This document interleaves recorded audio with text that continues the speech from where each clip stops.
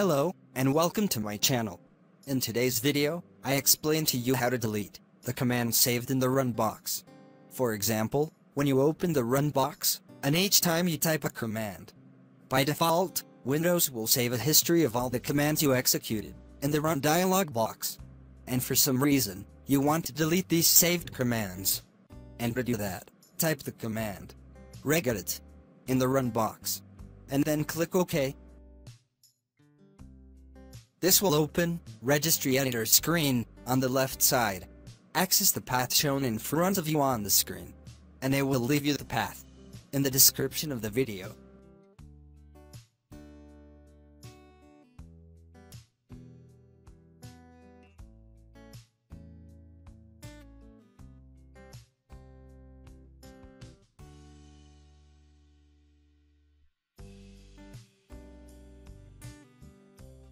Then, go to the other side of Registry Editor screen, and you'll see a full list of the commands that you've ever entered in the Run dialog box.